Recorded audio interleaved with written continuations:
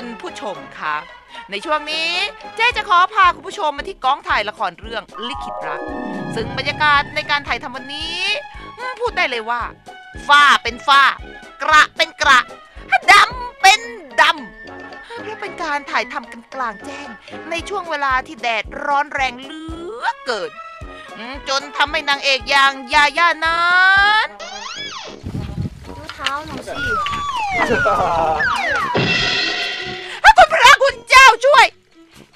ลายเป็นม้าลายไปแล้วค่ะคุณผู้ชมขนาดแล้วอะดำตัวเออเนอะคุณผู้ชมค่ะ เมื่อนางเอกได้แปลงร่างเป็นม้าลายผู้จัดอย่างแอนทองประสมก็มีความห่วงใยเป็นอย่างมาก จนต้องรีบรุดเข้ามาดูแลนางเอกด้วยตัวเองรีบคว้า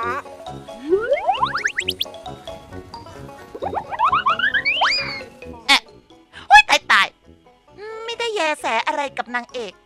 เพราะมัวโฟกัสอยู่กับการดูแลพระเอกเนี่ยนะไม่ได้พี่จ๊ะให้ดูเปลี่ยนเปลี่ยนบ้างเพราะว่าเราที่จะตัดภาพค่อนข้างจะได้มีเด็ดมั่นใจไหมครับมั่นใจครับเพผมราะเราหล่ออยู่แล้วใส่อะไรก็ได้ครับอืมทำได้ดีค่ะ